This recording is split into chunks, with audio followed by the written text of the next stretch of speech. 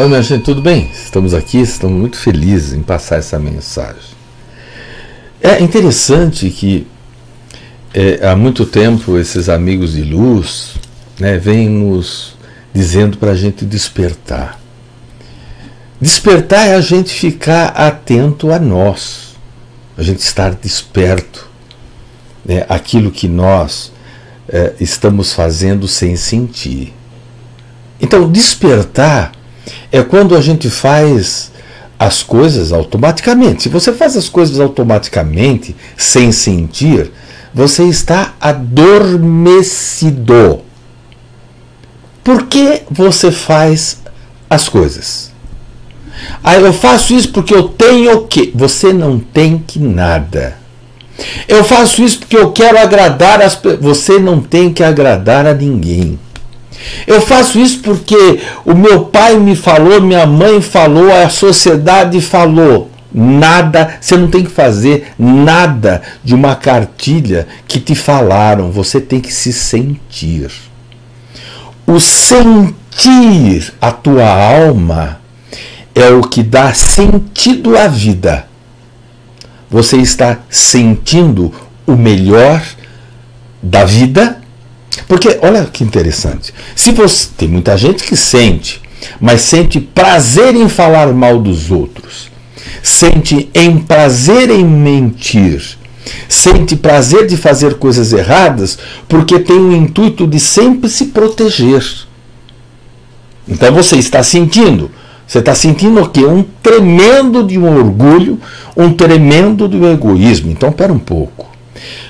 A finalidade quando a espiritualidade superior chega até nós e diz que nós precisamos despertar, é para que a gente comece a sentir as coisas positivas e deixe de lado, neste mundo de regeneração que agora nós estamos, a negatividade, ou seja, olhando o pior, o teu pior, o pior dos nossos irmãos e o pior do planeta. Né? Na verdade, a partir de agora, nós temos que deixar a negatividade de lado e olharmos de uma forma positiva tudo. Então, quando esses amigos espirituais de outros orbes, esses amigos de luz chegam e dizem que nós temos que despertar, nós temos que sair da dormência, dormência do tenho que de fazer as coisas para mostrar para os outros, de que muitas vezes eu faço as coisas para me proteger, porque, olha só, Santo Agostinho dizia: ame e faça tudo o que você quiser. Então, nós precisamos amar. Amar. E você pode fazer tudo o que você quiser. Amar a você, amar o teu semelhante, amar o planeta, amar a natureza, amar, respeitar, ter paciência, ter benevolência, ter empatia, ser fraterno, solidário, praticar realmente o amor incondicional. Eu pergunto para você: você está desperto? Ser desperto não é ser mais vivo do que os outros. Não, é sentir mais amor.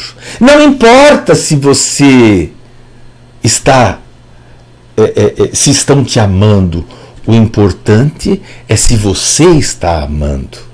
Não importa se estão falando mal de você. O que importa é você não estar falando mal de ninguém. Ok? O que importa não é as pessoas, ah, se lê, as pessoas estão me criticando, isso não importa. O importante é você não criticar ninguém. Percebe, minha gente? Ah, mas as pessoas estão iludidas. O importante é você estar, estar desperto ao seu eu interior, a você realmente fazer o seu melhor sempre ah, as pessoas ficam justificando tudo. O importante é você sair da justificativa, ser honesto com você. O importante é você parar de dar desculpas e ser honesto, sincero. não com as pessoas. Primeiro com você, se reconhecendo quem você é. Você é daquela pessoa, ah, Sinuê, eu, eu vejo o pior antes. E olha, é o pior mesmo. Parabéns. Sabe o que isso mostra? Mostra que o pior mora em você. Porque nós só conseguimos ver o pior, a maledicência, a maldade, quando esse, essa forma de julgamento existe dentro de você. Por isso que Cristo nos dizia e nos advertia: Bem-aventurados os puros de coração. Então, que tal você ser puro de coração e você cuidar da sua vida?